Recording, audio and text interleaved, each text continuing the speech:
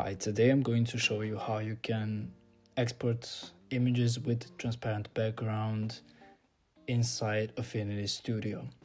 So let's go.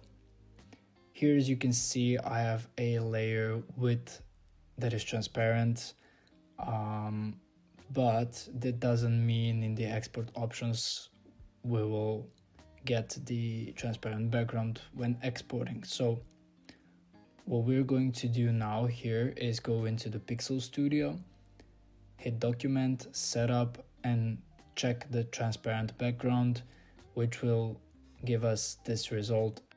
And if we export this image, we will get the transparent one.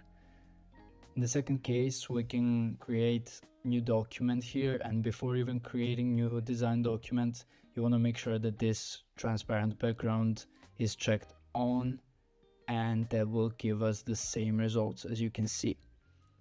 We can go and export this image to test if it's really transparent. Hit save.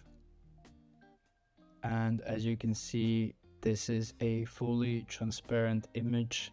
Thank you guys for watching. If you like this video, hit the like button and subscribe button. I'll see you in one of the next tutorials.